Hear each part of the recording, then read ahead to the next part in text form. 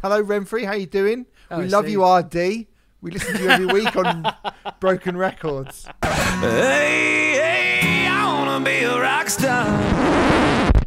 This week on the show, we're going to be talking about Richard Blackwood. But we love you all day. Check you every day on TV. You'll love to hate this. The debut album from Richard Blackwood. Who the fuck is Richard Blackwood? You might be asking that if you're from outside of the UK, Yeah. or yeah. Or if you're under the age of 35, or if you're quite a lot over the age of 35. It's basically what I'm saying is there is a very very small small amount of people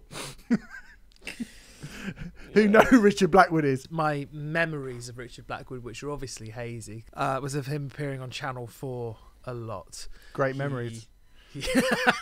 Richard Blackwood first shot to prominence when his dad married Naomi Campbell's mum. So he was Naomi Campbell's stepbrother. So it's a sort of broken records family affair, isn't it? It Have we ever had a sort of family thing on broken records? We have like a sort of sibling rivalry. Mr. Blobby and Crazy Frog?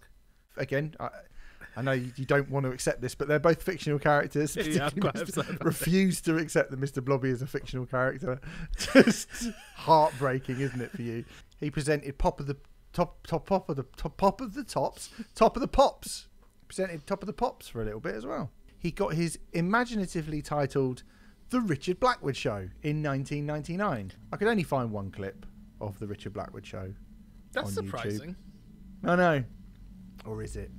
What I did find is him interviewing Mel B Oh. from the Spice Girls. He introduces her, bearing in mind it started in 1999. Spice Girls were quite famous by 1999. Yeah. He introduces her as Mel D. Give it up to Mel G. He just went, everybody, it's Mel D. And he definitely says D. I, I wound it back about five times and I was like, he says, Mel, he does say Mel D. And she sort of walks out and I think she's a bit like, did you just call me Mel D? and then he just sort of glosses over it like, fucking hell, I called her Mel D. It also is makes it a little bit more awkward because just before he introduces Mel D, he's been singing a Diana Ross song dressed as a Chinese girl. And he's still in Different the dress times, better times. different different times, and he's still in the dress. But Richard Blackwood doesn't appear to have really thought too much about any kind of music career until he's got a show on Channel Four. The aforementioned One Two Three Four Get with the Wicked, which is his second single, I watched him doing it on Top of the Pops, and that Remfry is where the real magic is happening. okay. I would suggest all of you, if you take one thing away from this, it would be to watch Richard Blackwood on top of the pops. Richard Blackwood is miming, but his mic is also turned on. So occasionally he can go scream or make some noise, and it sounds completely different both in pitch and tone. This is when the science ends and you enter the lion's den. Yes, we're ready to flow, get bent and twisted. I'll be runs the show. But the bloke who does a one, two, three, four, get with the wicked, he cannot be bothered to hold his microphone anywhere near his face or at any point. And Jamie Theakston comes in at the end and goes, presenting and getting with the wicked. Is there no end to this boy's talents? Yes, Jamie, there is. Definitely. there, there very, very definitely is. I wondered what the comments on a video like this would say. Uh, so I decided to look at the comments. I expected some interesting insight into such an essential, legendary performance on such an iconic television program. Sadly, there was only one comment from someone Oh. called Fiona Ha- Fiona Hamilton from two months ago, and she said, "Top of the Pops was a good show. Live and kicking, CDUK, SMTV, my childhood." Thank you. Thank you, Fiona, for sharing that heartfelt tribute to Richard Blackwood on this video. And um, I was delighted to see that Rommel G replied, saying, Don't forget the Pepsi Chart Show on Channel 5. How could we? How could we, Rommel G? How could we forget such a fantastic work of art? Shall we see if we can try and get 50 comments on that video from Yeah. uh, having our listeners Just comment? if you could go on to that video and just name television programs from your childhood. just go. Top of the Pops was great, and who remembers Round the Twist? Top of the Pops was great, That and who and who remembers Spatz? Top of the Pops was great. Who remembers The Flying Doctors. My childhood. That top of the be pops. Top of the pops was great. Who remembers Michelangelo? and Woof. what on earth? Uh, Ah, oh goodness me, that would be if people could if you could take two minutes out of your day to do that, that would be amazing. Um, don't don't at us. We don't want it to come back to us. I think we should no, no, just have a, don't add. Uh, have a at list. this reply to Fiona Hamilton. She, just reply to Fiona. Yeah. With the lack of reviews, I'm gonna have to go to Amazon.co.uk again. Brazen Dave gave the album one star on the 23rd of July 2014. Two, why are you reviewing this? In 2014. No idea. And it's something that he, you know, he should ask himself really because he did, he's pretty angry about it.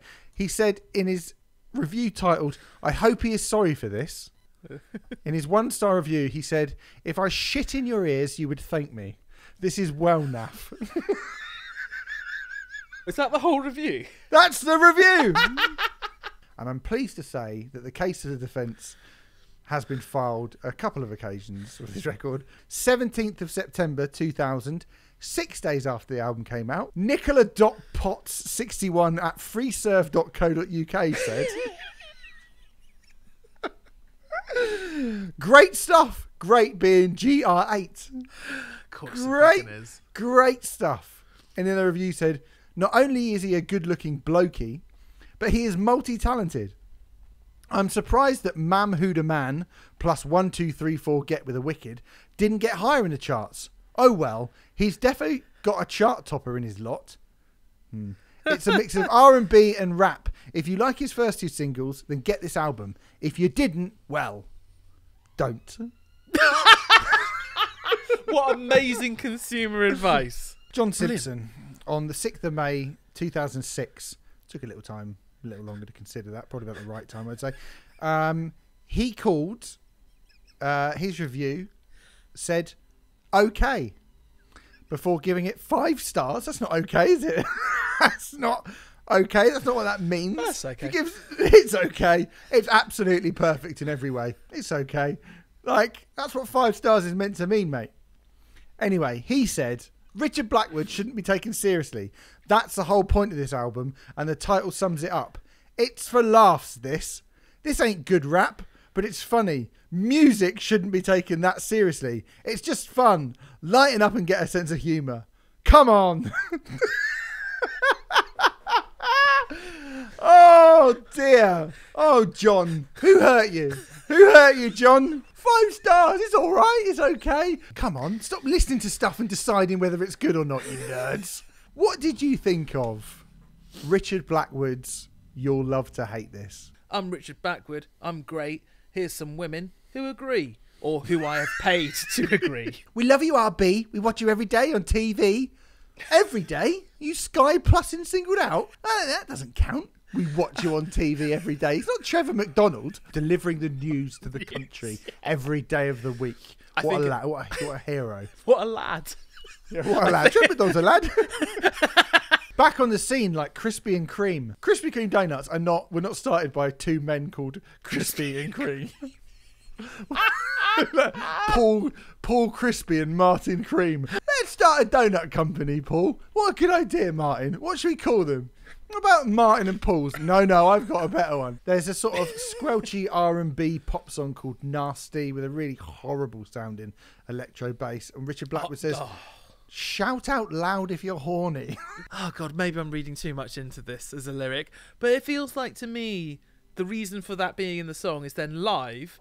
He could go to his like security. He's like, yeah, the, the ones who, the ones, yeah, yeah. The, Yeah, but can you pass out the pussy passes to the people Yeah. and go, Ooh. yeah, you know, Yeah. you know, which just then And then his makes me security would go, "There's only nine people here." We haven't actually discussed whether Richard Blackwood is a, a good rapper or not. Um, Okay, yeah. we can do that And- now. He's not. act- well, And then mm. you get a smooth ballad to end the album called They Don't Know Me. And the lyrics say, No matter who you are, no matter what you see, no matter where you are, no matter where you be, you don't know me. No one on the planet knows him. No matter who you are, even my mum, no matter what you see, even if you see the things that my mum sees, no matter where you are, even if you're in my mum's house, no matter where you be, again in my mum's house, you don't know me. So he's even saying, even my mu- nobody knows me. Nobody. Which in a few years would be true.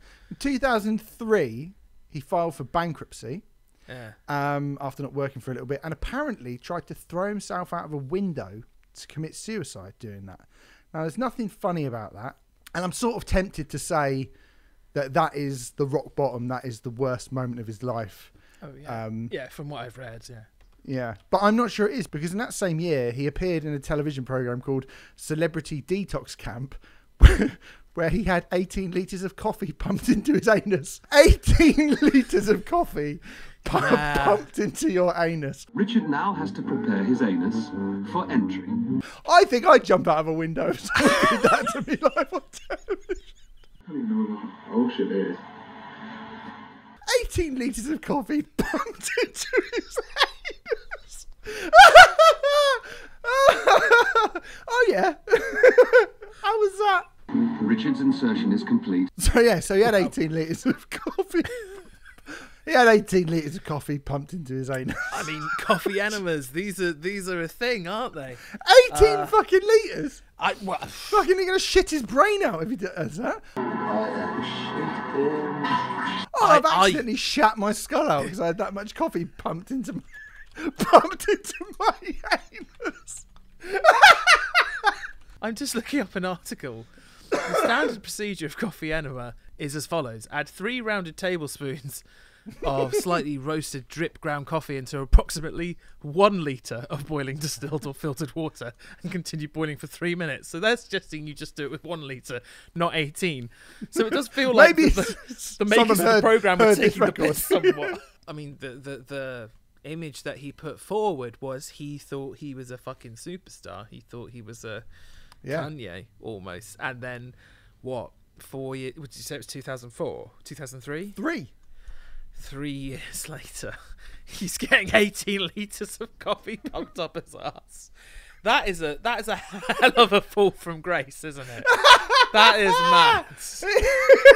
I mean, Oh, I don't even. Ah. oh, oh, God. Oh.